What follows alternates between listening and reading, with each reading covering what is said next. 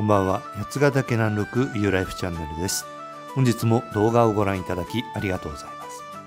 今回は高原の縄文王国収穫祭。井戸尻史跡公園で井戸尻の縄文人国米を舞うです。井戸尻高校館のすぐ下の公園が会場です。たくさんのブースが出展していました。秋の八ヶ岳南麓は美しい朝焼けが広がり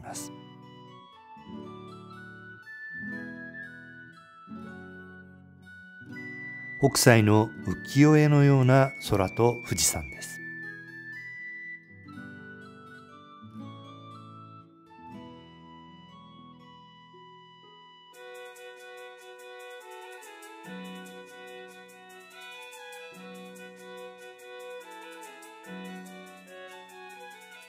東の空に朝日がだんだんと昇っていきます。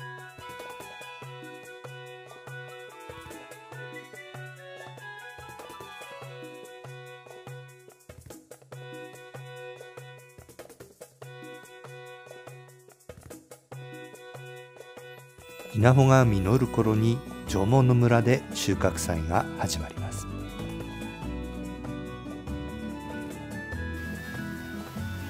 公園では水車も回っています。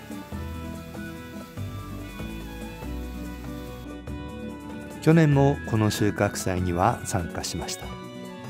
その時の動画もよろしければご覧ください。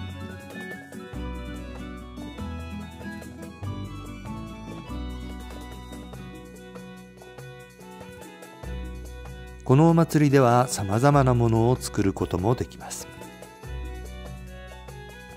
町の特産品や新鮮な野菜の販売もあります。さまざまな縄文を体験することもできます。特産品の販売や地元の野菜などはたくさんの人が買い求めていました。ちらは塩印の平出博物館のブースです。この博物館を訪れた動画もアップしています。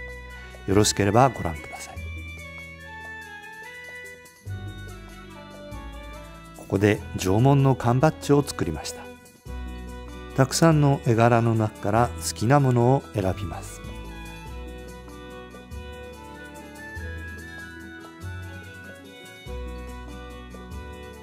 私はこれを選びました。色鉛筆で好きなように塗っていきます。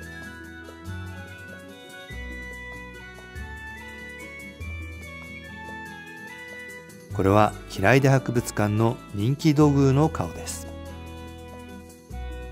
プレス機を自分で操作して缶バッジを作ります。こちらは妻の作品。続いて私の作品もプレスしました平出博物館の本物の縄文土器を持つこともできましたどこで出たやつなんですか？えっ、とこれは塩印のこれが平井えっ、とまな板原遺跡ってやつこれが平出遺跡です。おお。平出遺跡塩印の平出遺跡。へえ。どうぞ。緊張するね。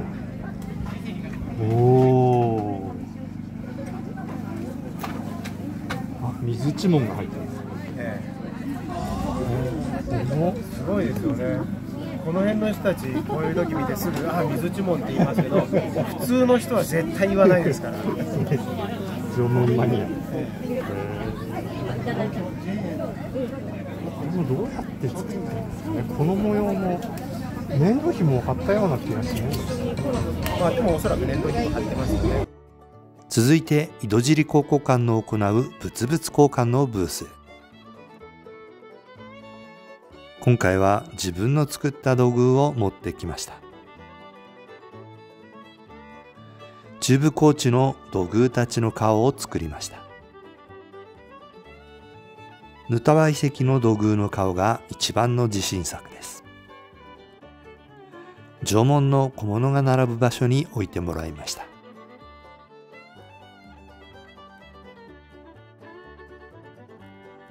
物々交換は地元の野菜を持ってくる方もとてもたくさんいます。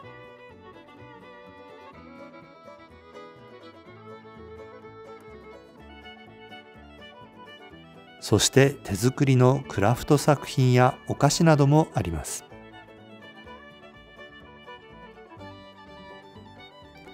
縄文風の石器や石皿などもありました。私が目をつけたのはこの石皿。手作りの石皿です。そして縄文モチーフのポーチ。このカバンも素敵です。今回はこの5品と交換しました。ポーチはののの工房さんの作品です。他にも素敵な作品がありますのでリンクを貼っておきます。そちらをご覧ください。富士見高校の養蜂部もブースを出していました。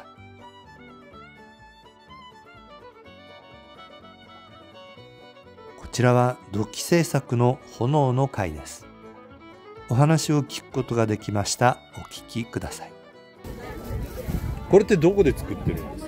あ、これですか？うん私たち炎の会っていう、はいあの土器作りの制服なんですけど、はいはいあのゆとりろってあの富士見保育園ご存知ですか？はいートも上がってはいあそこの裏にゆとりろっていうそういう施設があって、施設施設っていうかあの小屋みたいなのがあって、はい。そこで6月からはい。10月の火曜日と水曜日にみんなでこうやってやって作って。はでこの前もあの14日の日にそこでのあの今やってるようなはいはいはい。形で野焼きをして、野焼きで。うんやっててこの一応土ははい。あのあれなんですよ。この辺の土とはい。釜無川の砂と混ぜただけのその陶芸用の粘土じゃない、陶芸用の粘土だとどうしても鮮度を過ぎないと焼けないので、はい。縄文土器と同じようなそうそうそうなんです。ねうん、それであのー作っあの成形して、ええ。10月の大体2週目ぐらいにまとめてこうやって野焼きで。あ焼くのは一回だけなんですね。そうですね。それまでにせっせと作るっていう感じ。せっせと作る。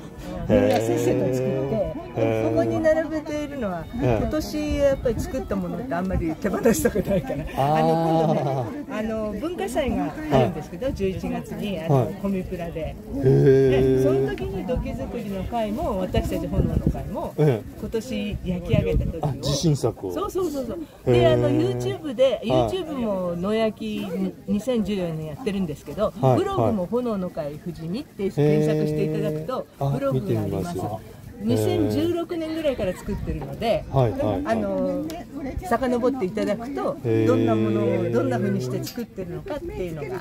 これ参加するのにあの会費とかいるんですか？あ会費というか、あの一応年年会員と三女会員ってあるんですけど、はい。一週間やっていただいて今いくらだ？一週間いくらだ？一周1500円。火曜日水曜日に来ていただいて、はいあとあちらは土器作りの先生なんですけど、はいあの一一回一週はいはい。二日間来ていただいても1500円。はいはい。一日来ていただいても1500円。おー。という感じで、あのやってます。ねで年会費は1万5000円ですけど、はい10回来ればあれなので皆さんまあ、なそういう算段してますけど、う んでもあの例えばこういう一つうん。なんか作ってみたい。作りたいという時はは一つ出来上がるまで来てそうそうそうそう、であと野焼きの時に一緒に焼くみたいな。るほどね。うん、そういうような形で、はい。あのうんあのやっているので、あのだからあの年間通してでなくて、はいはいはい。6月から10月全部っていうんじゃなくて、ご都合のいい時に来ていただいて、あのやっていただいへてー体験していただくってことができますい。体験したのも結局その1回の野焼きで焼くってそうですそうで。やつですすね10月にあのね乾くのっていうのもあるんですよね。そうですよねうん。だからねあの大体まああの6月7月ぐらいに作ればもう完全に乾きますけど、あ9月に来てちょこっと作ってもしかするとみたいなところがあるのでね。はあ短いからね、はい5月から9月いっええぱいだから、えそうそう水で1個作ってまたつ他の月にまた火水でもう1個作ってとかそうそうそれでも。3個も4個も作ってもいいわけなんですね。お好きなようにあの来ていただいて大丈夫。あとそれからもう一点はここにも書いてあるかな、はい。あのね井戸尻の考古館のはいはい。土器を借りてきて作ってます。本物の土器こをうこういうのなんか。へだからえもう縄文人の指の跡とか、はいはいはい。そういうのが分かるような土器を持ってきてはああの島街とかねあのはい文化財になってるようなものは借りられないんですけど、ええええそうでなけないものはな結構くて。もいいもんいっいぱいありますもんね。そうなんですよで私たちそれ5月の終わりくらいに、えまず第1回目ではい集まって、ええ。それで国庫館見学して、じゃあええ今年どこの時借りようかとかいうような形にして、はであの借りてきて、えで6 6、7、8月はねやつあの休むこともあるんですけど、はい。9月ぐらいで土器作って、えそれで10月に野焼しっていうへ大体1年です。えすごいな。うん、なんかあのいうのはオリジナルなものですから、はいはいはいはい。あれですけど、うん、へえでもなんか縛りあるんですか？この絶対同じ形に作んなきゃいけないとか。あのそれはないんですけど、ええ。ただ私たちこういう土器を借りてきたものこれなんかだと、ええ。やっぱりなるべくこう本物どうしてこんな模様をつけたのかなっていうのがかなりやっぱりね、はいはうんときますので。だからあのどうしても、ええあのまずは真似してみようみたいうなそですよね。そんなところもあるし、あのとてもあの縄文の人たちが巧みですから、え。そうですよね。あのこあれこんな大きいのも作れるんですそうね。なんです。そうなんです。これこれなんかはあの香炉型土器ですよね。うん。コロラだね。こういうのにしはてたんだろうと思われるこれはえねみんなね三点はうん。井戸尻にあります。ああはい。井戸尻にあった土器をお借りして。こちらは富士見町の観光協会特産品を販売するブースです。ルバーブの加工品や縄文のクッキーもありました。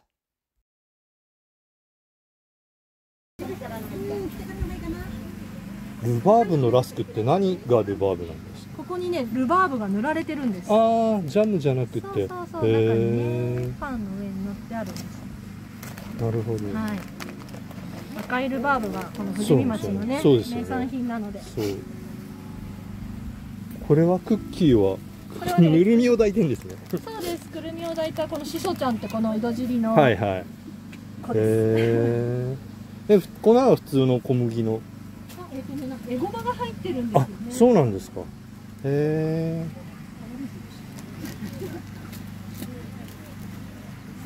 そしたらこれとこれとこれとこれとかりんとうもあるんだね。安いよね。今日あのちょっと賞味期限が迫ってるあ、本当に？かなりお安く。じゃあこれあとりがとうございます。四つ。4つ。あとで400パンのパ1000円ンどうか1000円。と1200円今のところ1200円、これくる栗が入ってるんですね。そうですね。くるみ栗のあんこのくるみパン。へえ。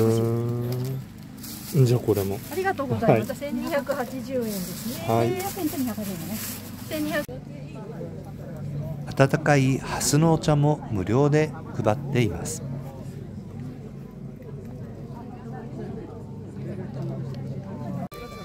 土器作りの会の方が野焼きを実演していました。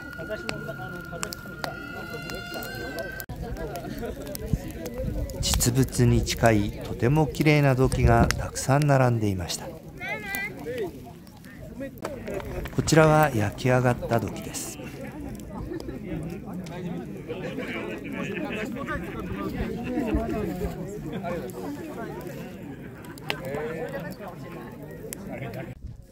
ステージでは様々なものが催されます。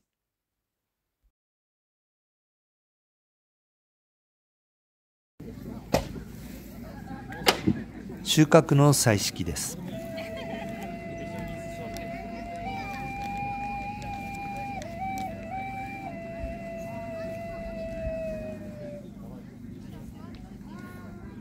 いにしえのこと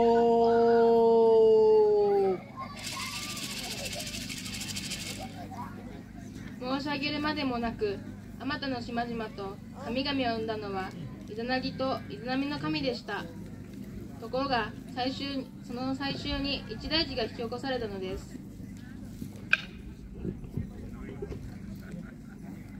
次に埋める神の名は鳥の岩くす船の神またの名は雨の鳥船という次に大月姫の神を海き次に火のヤギ早尾の神を海きまたの名は火のかがびこの神といいまたの名は火のかぐ土の神という。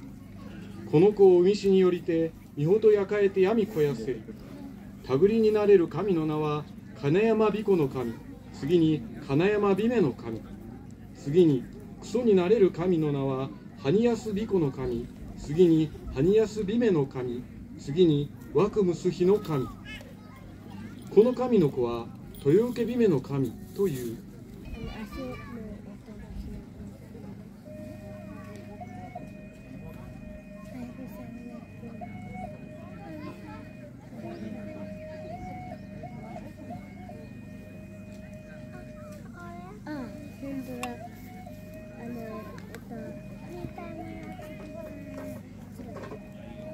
昔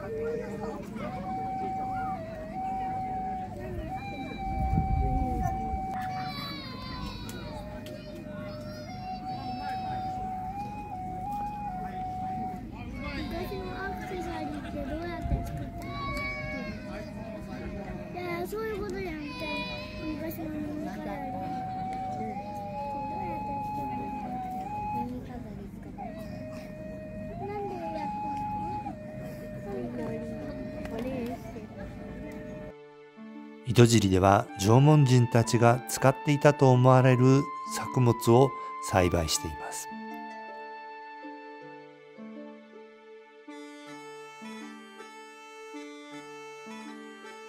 祭壇には有効つばつき時のお酒や収穫した作物壊した土偶などが祀られています。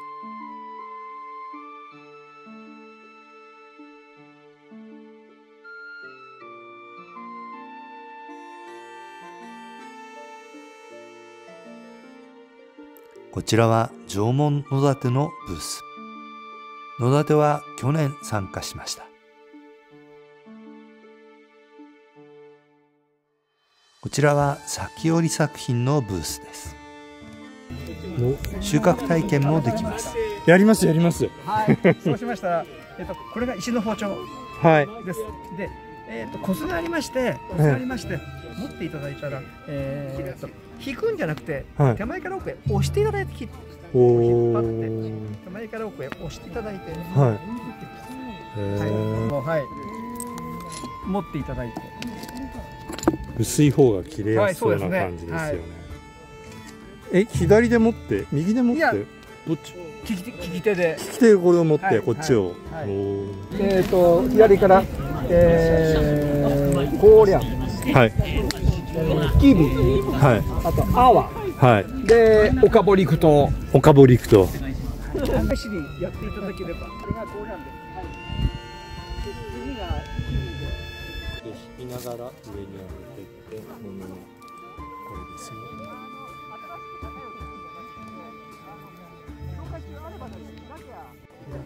175センチの私の背丈よりもはるかに背の高いコーリャンです。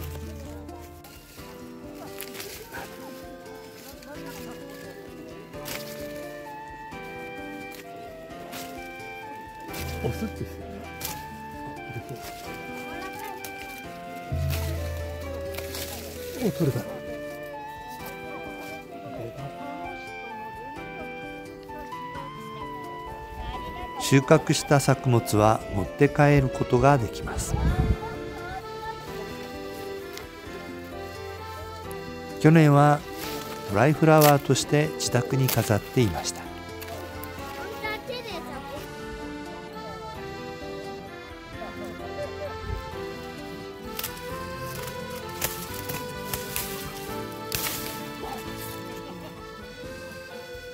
このような雑穀を使った料理を自分で作った縄文土器で作ってみたいと思っています。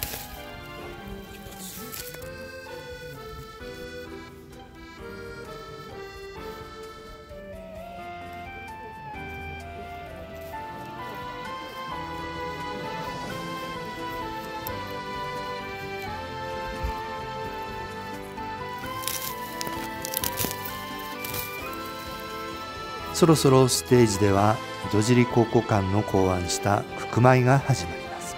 これは土器と土偶の図像の形を一連の流れに組み立てて5000年前の舞を再現してみようというものです。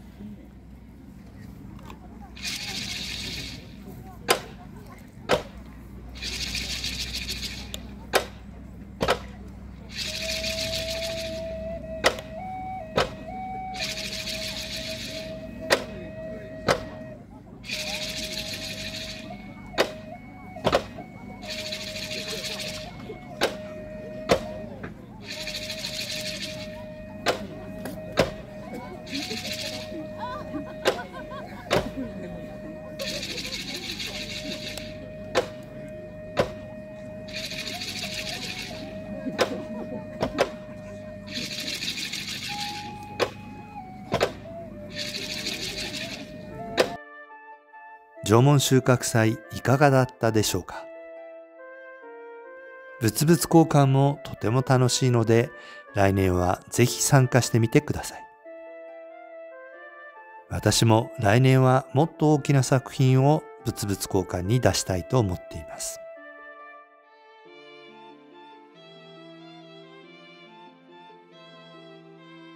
一日中縄文を感じることのできる収穫祭。とても楽しい一日となりました。この公園は縄文人が実際に暮らしていた遺跡の上にあります。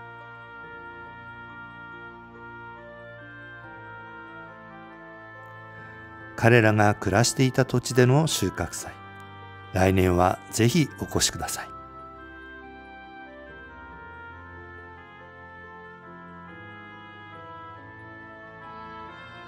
本日も動画を最後までご覧いただきありがとうございます。